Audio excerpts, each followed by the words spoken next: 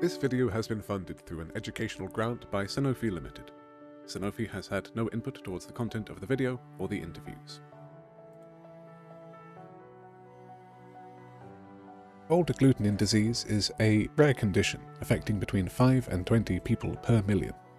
As a complement-dependent disorder, it shares many of the hallmarks of an autoimmune condition, but brings with it its own challenges. Professor Sigbjørn Berentsen of Haugesund Hospital in Norway spoke with us about the biological underpinnings of cold agglutinin disease and how that translates into patients' symptoms. Cold agglutinin disease uh, is a chronic form of autoimmune hemolytic anemia, and autoimmune hemolytic anemia is anemia, low levels of hemoglobin in the blood, caused by destruction of red blood cells by autoantibody to the red blood cells. Autoantibodies are antibodies to one's own cells. Um, the autoantibodies in cold agglutinin disease are called cold agglutinins, which means that they can agglutinate, that is, clump together, red blood cells. Cold agglutinins can bind to red blood cells at temperatures between normal central body temperature. And it's important to know that such temperatures do not occur only in cold environment, but also occur normally uh, in exposed parts of the body, for example, the, the face, the arms, the feet, and so on. Uh, they will also bind uh, a substance called complement, which is a somewhat complex part of the, the immune system. Cold agglutinins and cold agglutinin disease are produced by uh, so-called B lymphocytes or B cells in the bone marrow, normal B cells are cells uh, parts of uh, the normal immune system, but clonal B cells are slightly abnormal in that all of the clonal cells are like, they have identical properties, and they are produced, uh, they, are, they all descend from one single cell.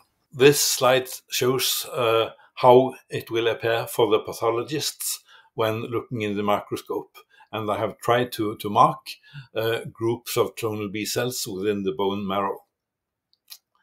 And um, when I said that there were abnormal cells in the bone marrow, uh, some people will ask, is this disease a cancer? Is it a, malignant disease? And uh, the answer is that it is not. Um, the, the abnormal cells do not go outside the bone marrow, and uh, transformation, change to a malignant disease is very rare in cold agglutinin disease. And cold agglutinins bind to the red blood cells, uh, and the red blood cells will agglutinate, that is, clump together. And that agglutination or clumping is not the same as formation of a blood clot. This process will lead to a hemolytic anemia, uh, red blood cells will be destroyed, and I will come back to how that will happen. And uh, also, uh, the agglutinates, the small um, clumps of red blood cells, will have problems in, uh, in the passage of the smallest blood vessels, the capillaries.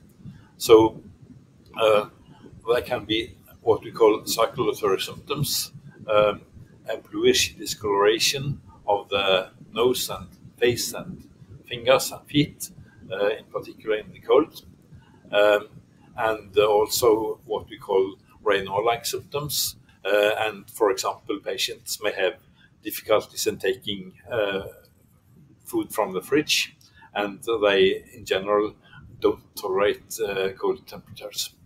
How do you reach a CAD diagnosis? It is necessary to, to confirm that the patient has that the patient has hemolytic anemia, which is confirmed by by a relatively simple blood tests. Then you need the, the, the DAT or so-called direct Coombs uh, to diagnose an uh, autoimmune mechanism uh, to see if the hemolysis um, is due to an autoimmune disease. And if you confirm that, you also need um, further, more specific tests to confirm the type of autoimmune hemolysis. And um, after that, you need uh, to do a cold agglutinin titer to detect cold agglutinins in the blood and uh, determine the, the, the quantity. Many patients have detected before they see the specialist that uh, cooling is not good. They notice those symptoms and uh, they notice uh, reduced tolerance to, to uh, uh, cold environments, and they have detected some of these points themselves. But um, what patients should be explained is that avoidance of cooling is good not only to avoid the circulatory symptoms, the bluish discoloration, etc., but also um, to reduce the danger of uh, severe hemolysis.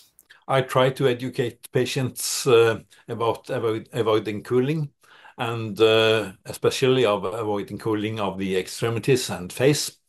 Uh, but it's even important to educate healthcare personnel because when patients are in a hospital or in an outpatient department, they should not be exposed to low temperatures. And for example, infusions should not be cold. So that's important uh, too.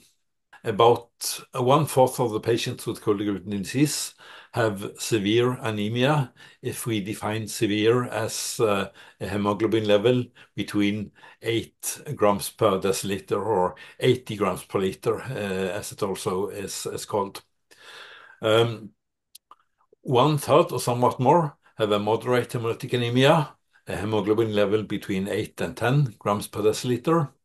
Uh, about one fourth have a mild anemia, an anemia with a hemoglobin level more than 10, and a small minority, uh, about 10 or 12%, have what we in medical terms call compensated hemolysis. That is, they have hemolysis, but they have not anemia because the bone marrow is able to compensate by producing more red blood cells.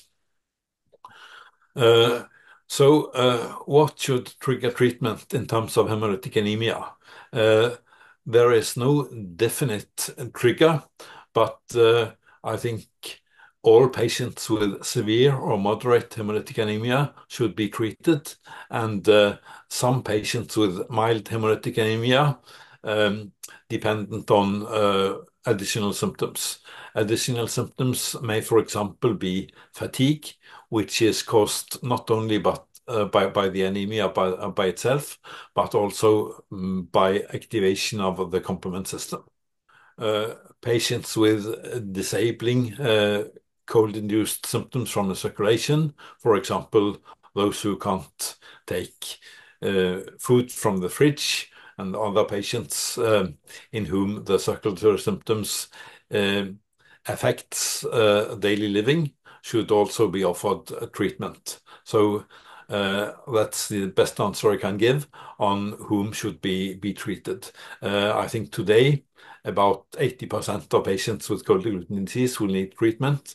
So in old literature, it was often said that most patients should not be treated, but uh, that's not true today. What treatment options are there? Treatment can be directed at targeting the, the, patho- uh, the, the abnormal B cell clone or the complement system. And uh, the B cell clone can be targeted by uh, monotherapy with a drug called rituximab. That is an artificially uh, produced antibody against uh, the B cells. Uh, and we can use rituximab as monotherapy. The advantage by doing that is that it is tolerated by most patients. Um, severe side effects are relatively rare, but the drawbacks are that it's not very efficient. Um, it often um, improves the improves the disease for a short time, uh, often some months, up to one year. Uh, and uh, it is often not very efficient. So we can combine rituximab with cytotoxic drugs, for example, bendamustine, Uh, that's far more efficient. and produces uh, much more durable improvements of the disease, but there are more side effects. Uh, then we can also use a drug called bortezomib, and we can also use a newer drug called ibrutinib to target the B cells. Alternatively, as I already said, we can try to target the complement activation by using a complement inhibitor, a drug that blocks complement activation. That drug is called sutimlimab and has to be given as an intravenous infusion um, every second week. Uh, the advantages of sutimlimab is uh, that it is very efficacious against the hemolytic anemia. Patients often achieve a normal hemoglobin level very rapidly. Um, the drawbacks with sutimlimab is first, that it is extremely expensive, not available in all countries, and in some countries, not available for all patients. Uh, and uh, also, um, sutimlimab will not uh, improve the cold-induced circulatory symptoms. The the, the bluish discoloration and the uh, Raynaud-like symptoms in the cold will not be um, alleviated by by um, sutimlimab. So the patients will still experience those symptoms from the circulation. In countries with a well-functional, specialized hematology service, uh, wrong medical treatment should not be very frequent. But uh, on a worldwide basis, it is. Uh, and uh, the most widespread wrong treatment is treatment with corticosteroids, um, prednisone and prednisolone, and so on. It doesn't work in cold agglutinin disease. It's um, often used by some doctors because it works in other types of autoimmune hemolytic anemia, but it should not be used in cold agglutinin disease. So that's an example of of uh, of wrong medical treatment. How are trials changing access to new treatments? Patient uh, contribution uh, will be uh, will be preferred when planning trials. So, for example, in the U.S., the CAD Foundation uh, might be consulted when planning clinical trials, and I think input from the patients uh, will be important because they know how they perceive the disease and uh, and what are the unmet needs. We don't still have the ideal treatment for cold agglutinin disease. We are much better off than 10 years ago and very much better off than 20 years ago, but we haven't yet the ideal treatment. So clinical trials are important, and uh, I would encourage patients to participate participate in clinical trials. Do other health complications, such as infections, pose a different risk to those with CAD than without? Yes, it's important, and that is because infection, and in particular, infection with fever, can trigger exacerbations, worsenings, acute worsenings of cold agglutinin disease. So patients can get more anemic, uh, destroy more red blood cells. And um, therefore, patients should be aware that uh, if they get fever, they should see the doctor, and uh, the infection should be diagnosed. And of course, uh, it's not uh, possible to treat all infections. For example, in most viral infections, there is no treatment, but uh, bacterial infections can be treated, and prompt treatment of bacterial infections is important to avoid exacerbations, worsenings of cold agglutinin disease of the hemolytic anemia. Of course, there are some consequences. I think after all, the most important consequences are the consequences of uh, anemia by itself. Patients do not feel well. They are fatigued.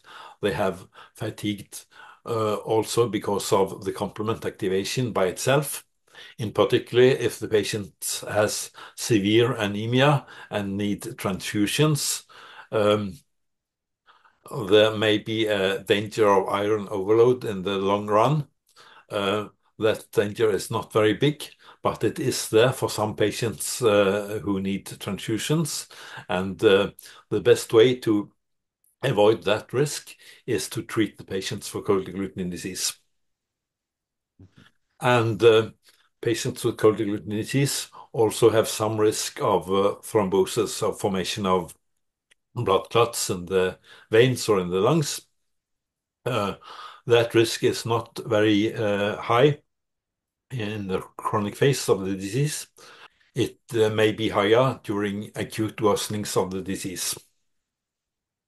So in some situations, uh, patients may need drugs to avoid um, thrombosis, but in the chronic phase, uh, most patients do not need such drugs. What are your final thoughts on CAD and its care? One of the misconceptions uh, is that uh, the disease is only uh, related to cold environments. It isn't. It's named cold agglutinin disease because the autoantibodies are most active below normal central body temperatures. But the disease is not only related to cold environments. In patients with cold agglutinin disease, the disease is there all the time, whether it is warm and cold uh, around you. Another misconception uh, is that uh, patients should usually not be treated. I would say the opposite. Patients should usually be treated. Some patients do not need treatment with very mild disease, but most patients will need to be treated. But if a general practitioner has a particular patient with cold disease, of course, he or she should educate himself. Um, then, uh, at the specialist level, patients with cold disease should be seen by a hematologist. They should undergo uh, a sufficient diagnostic workup. And uh, if the uh, hematologist is um, not familiar with cold disease, he or she should uh, refer the patient to to a hematologist who is. Um, and uh, as I said, some patients with cold agglutinin disease do not need treatment, but most patients should be treated, and treatment treatment should be tailored according to uh, the profile of the symptoms of the patient. Um, and also, patients should be asked for their preferences.